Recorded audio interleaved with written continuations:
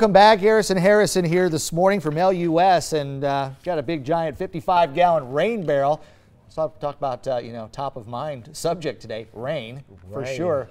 People have those; they're going to fill them today. Yes, yes, these rain barrels will get filled fast today. Uh, LUS and LCG Environmental Quality uh, provide a program where uh, residents are able to purchase uh, a rain barrel for use around their home Mm-hmm. where they could collect rainwater for outdoor uses such as uh, gardening Right. or uh, any outside you know use.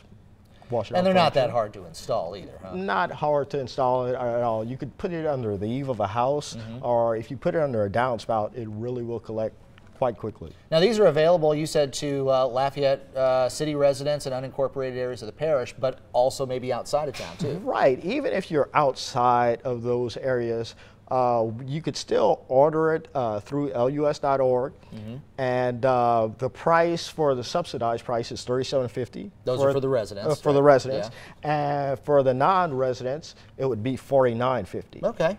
Now, what would you say the, the biggest importance for this?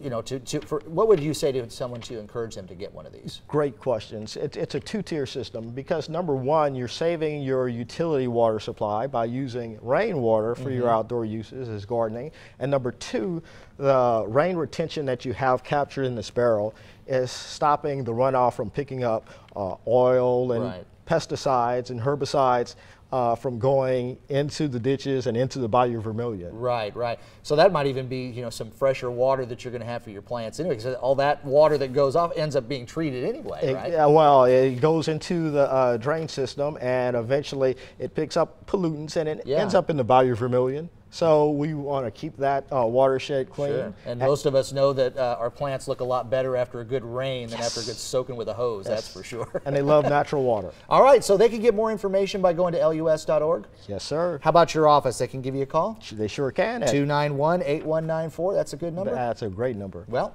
hey, have a happy Easter. Thank get you. one of these. Uh, we do get a lot of rain in South Louisiana, and this is a good way to help out your own garden, help out your own property, and help the environment as well. Thanks Sure for is. coming in. Thank you. Daniel Phillips, I know you were eyeing this thing too. You got